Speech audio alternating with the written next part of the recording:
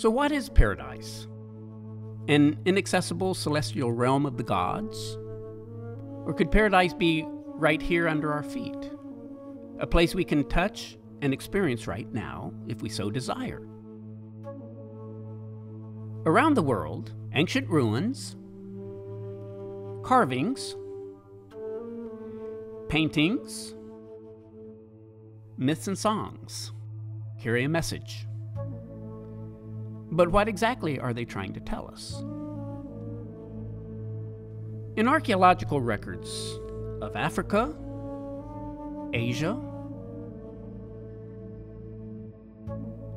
Europe, and the Americas,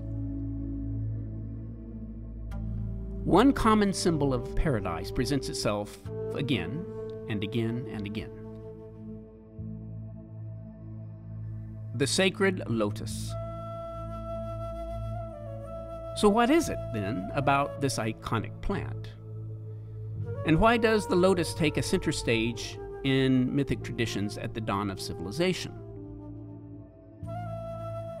Or why exactly was the lotus identified in so many religious traditions as the plant of the gods?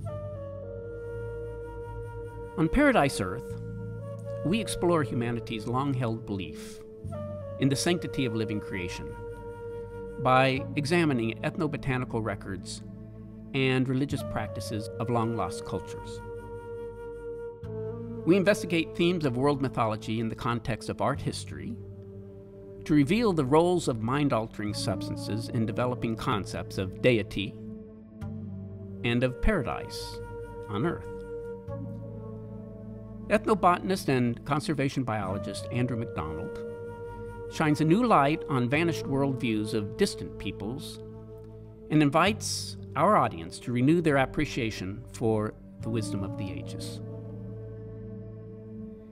Join us in exploring the realms of the human conscience, civilization, and world mythology to revive and reinforce our timeless connections to the natural world.